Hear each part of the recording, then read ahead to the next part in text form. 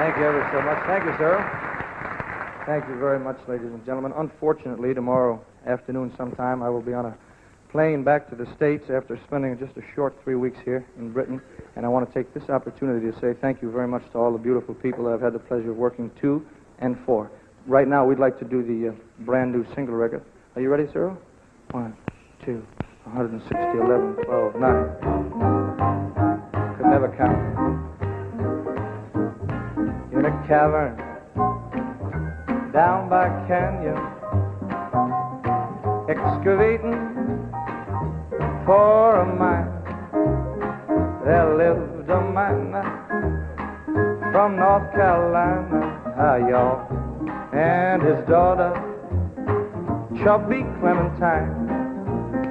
Every morning, yeah, just about dawning, when the sun began to shine, you knew she would rouse up, wake all of them cows up, and walk 'em down to her daddy's mine. Took to the footbridge, we crossed the water, though she weighed 299, she was a big one.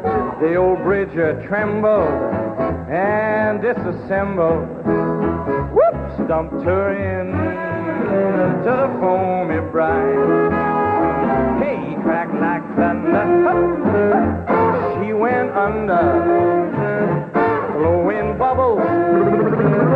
down the line. I'm no swimmer, but were she slimmer, I might have saved the Clementine.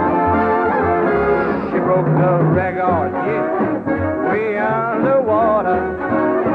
I thought that she was doing fine, and I never got nervous, not until the service that they held for Clementine.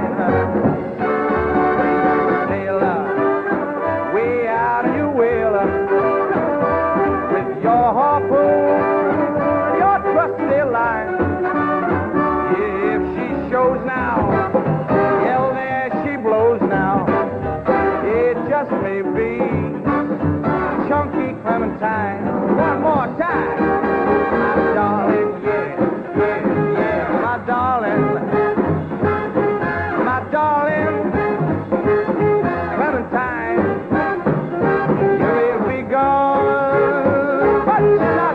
Fatima